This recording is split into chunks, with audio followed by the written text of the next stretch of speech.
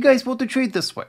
In this video, we'll analyze WTI crude oil, we will take a look at euro dollar and gold, we will analyze dollar yen pair, and I will share with you my analysis on dollar index. The today's video will be based on the today's live stream with my students. Please don't forget to like this video, subscribe to my YouTube channel, and let's start.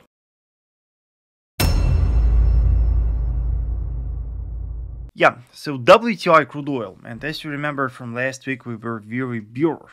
And what was the reason? First of all, analyzing the short-term perspective on WTI crude oil, we see that the market here is trading in a bearish trend. We keep setting level lows and low highs. And what happened last week? The price set a new level low, level close. Again, we got a very strong support cluster right here and the price violated that to the downside and moreover for a couple of these we are already trading below that structure making me think that this breakout right here is valid and not false. Moreover if we zoom out the chart if we zoom out the chart and extend that horizontal structure traders take a look here on the left we also have that major historical structure. Yes, the structure cluster that was respected many times in a row by the market.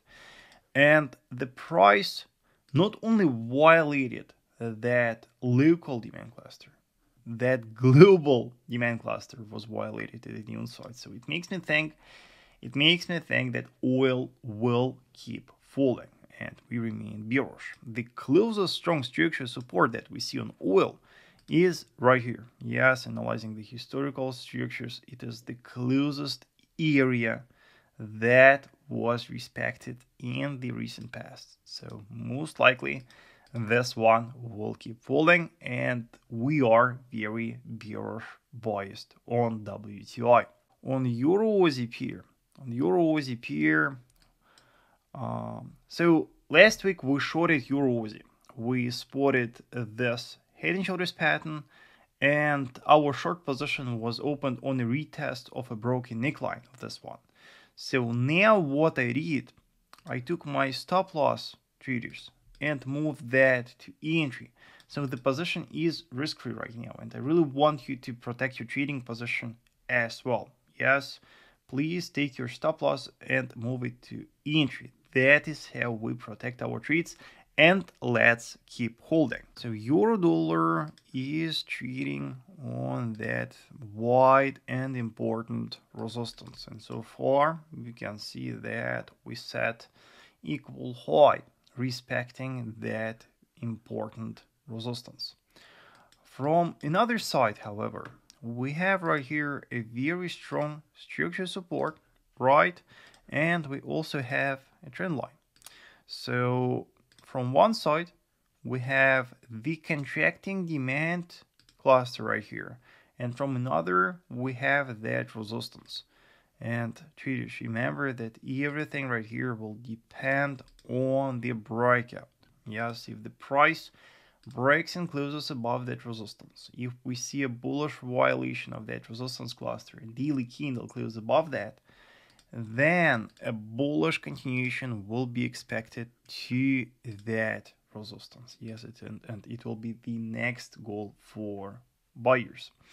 If the price, however, breaks and closes below that contracting demand cluster to the downside, then the bearish movement will be expected, right? So for now, for now right here, we are patiently waiting for a breakout a lot of questions about gold and let's execute the top-down analysis there so you could better understand what is happening right now.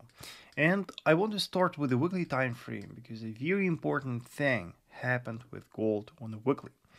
First of all, traders, analyzing the price action, we should admit that the market is trading in a bearish trend and even though recently we saw the strong bullish movement, remember that technically speaking for now it is the correctional movement within this bearish impulse.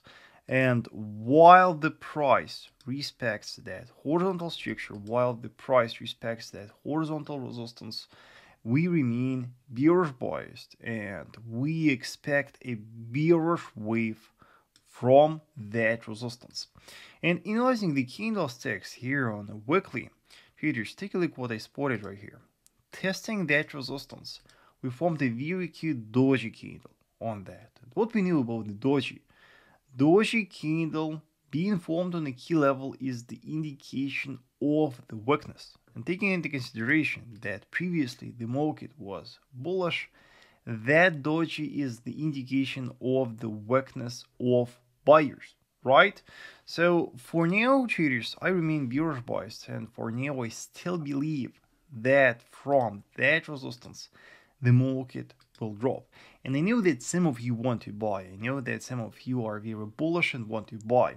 I want to warn you that you should buy gold only after breakout of that resistance. Only when the price breaks and closes above that resistance on a weekly, only then a bullish movement will be expected. to it. Only then a bullish wave will be expected to that resistance. Yes, so please remember about that. Now let's analyze what is happening on a daily. So on a daily time frame, as we earlier predicted, the price perfectly respected that horizontal structure support and from that it bounced. The price bounced and we retested that resistance but for now we didn't manage to reach the, the high of this month. Now let's check the situation on a 4 hour. 4 hour time frame testing that resistance will also form the doji candle right here in the 4 hour and we got very nice rejections and after these rejections the price here formed a bearish engulfing candle confirming the strength of that structure.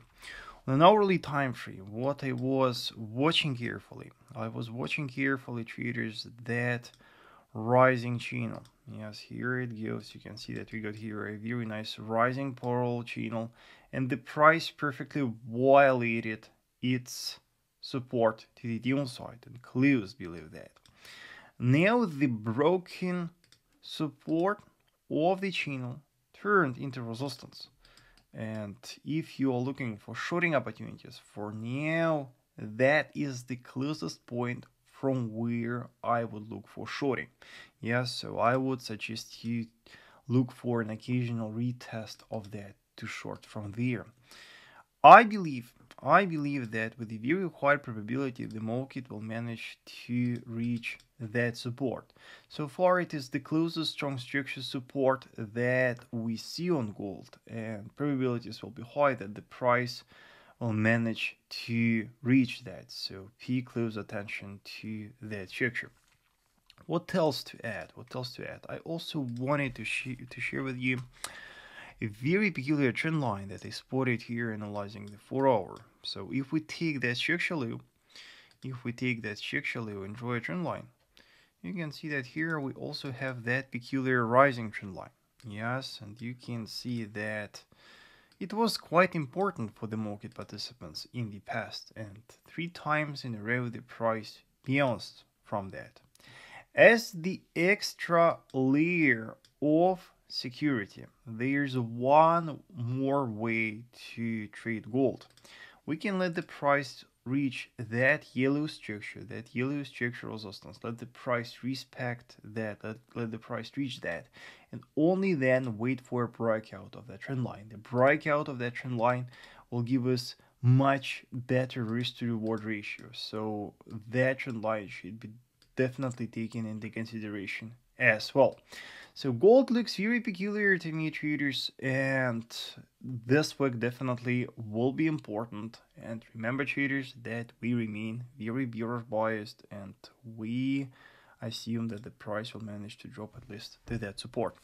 Lastly, one more thing to add right here, if you're looking for swing short, if you are looking for a strong bearish wave, you should look definitely for a breakout of that horizontal structure on a daily. Only when the price breaks and closes below that, only then, only then the market will drop. Yeah, so let's briefly take a look at dollar yen pair and let me share with you the update for this one. So as you remember, earlier on a dollar yen pair, we spotted this head and shoulders pattern on a key level And as you remember, our plan was the following. We were waiting for its neckline breakout.